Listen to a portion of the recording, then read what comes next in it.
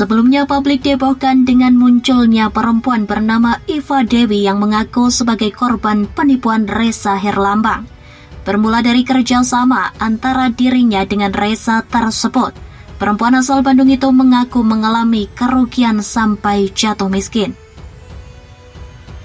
Tanya itu saja, ia juga sempat memperlihatkan dua buah foto saat dirinya masih berusia muda, sekitar 10 tahun yang lalu, Ifat nampak membagikan foto ketika dirinya sedang duduk dengan Reza Herlambang dan Aliando sembari diwawancara oleh awak media.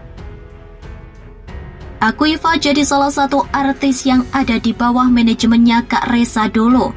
Ini fotonya di tahun 2012.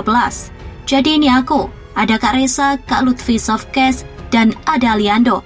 Jadi ceritanya benar guys. Kata Iva seperti yang dilansir dari akun DPR Gangs tersebut.